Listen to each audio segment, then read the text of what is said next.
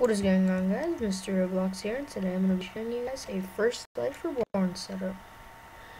And the setup is pretty easy, about not even 10 minutes after I finished it, I got over 25 QN. See how much this ore gives. And this setup can give pretty random amounts, like trillion right there. But, let's check it out. This was based off of my um, trillions through QN setup. Because you can get really random amounts on this. And I got enough to rebirth if you're on your first through fifth life. Is basically put four paint type mines into a green conveyor. Put a, converter. And then put, I think it was 11 cursed ore purifiers till you hit the end. And once you hit the end,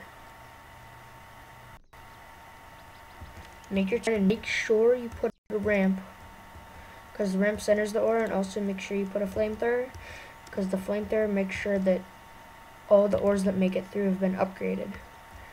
So it basically like deletes all the ores that aren't being upgraded because the freon takes the fire off the ores. Next, add 15 Schrodinger evaluators and make sure you really use your walls on the end because they can fly out ores. Next, 30 portable ore advancers. And then 4 orbital upgraders. 4 ore zappers.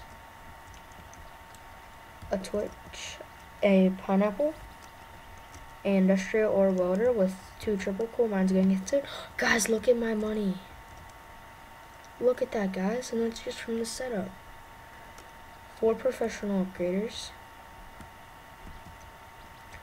a replicator, four flaming ore scanners, and I'm not even using the best furnace, guys. I'm using the Dream Maker, and the best furnace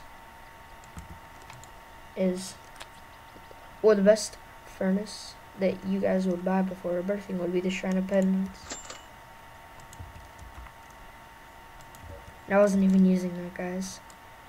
And that's proof right there, my money is just how good this setup is. But I hope you guys enjoyed. And remember to like, comment, and subscribe. And but I want to see how much these ores are worth.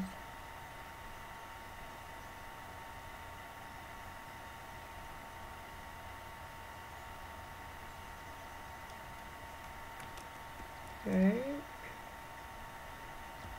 Two ores coming. One is sparkling.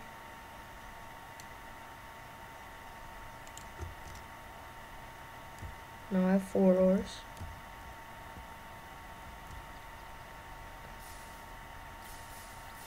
Alright, so that wasn't the best. But you guys saw that my money changed by like 200 QN, guys.